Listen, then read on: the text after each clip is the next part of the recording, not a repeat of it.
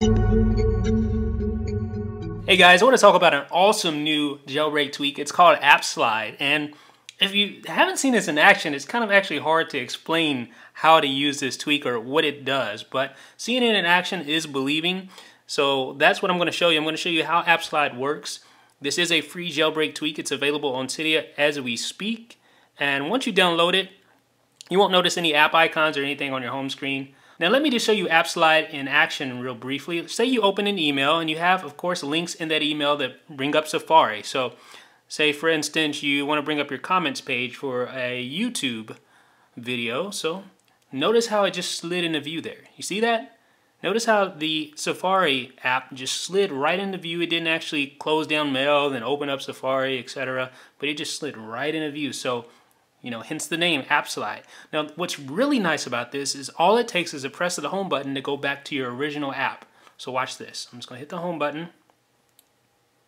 And then there you go. Back to your original email, back to mail.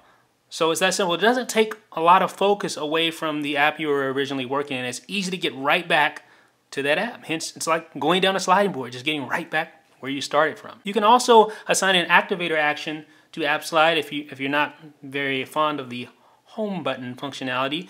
For instance, I assign a double tap of the status bar. Let me just show you how that works here. Let me just double tap the status bar. There you go. See?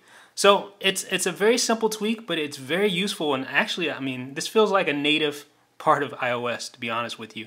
Now, of course, Mail and Safari aren't the only situations in which AppSlide would be useful. This actually works with anything that opens in a new app. Say, for instance, you're in Safari and then you open up the App Store. Let me, let me pull up, let's see here.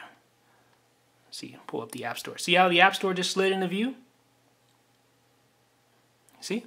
And then I just tap the home button and we're back at our article. So it works with anything. Anything that opens in a new app, it can even work with notifications. So folks, that's AppSlide. What do you think about this jailbreak tweak? I think it has functionality that's actually worthy of being a native part of iOS. Let me know what you think in the comments. This is Jeff with iPhone Download Blog.